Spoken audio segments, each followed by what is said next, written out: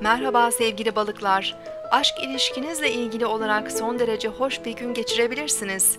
Bu etkiyi iyi kullanıp huzurlu bir gün geçirmeye çalışmalısınız. Tüm yorgunluğunuzu ve geriliminizi atabilirsiniz.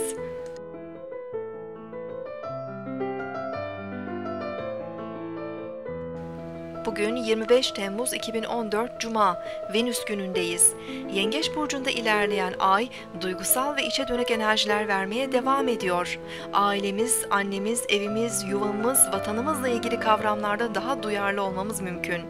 Yengeç burcunda ilerleyen Merkür sabah erken saatlerde Koç burcundaki Uranüs'le kare, Akrep burcundaki Satürn'le üçgen açı yapacak. Zihinsel olarak huzursuz ve gergin olabiliriz. Geçmiş konuları, anıları, sorunlarımızı ve duygularımızı gözden geçirebilir, çözüm yolları arayabiliriz. Duygusal problemlerimiz ve fiziksel rahatsızlıklarımızı şifalandıracak gerekli yardımları bulmamız mümkün. İhtiyacımız olan duygusal güvenlik, sevgi ve şefkati bulmamız bugün daha kolay.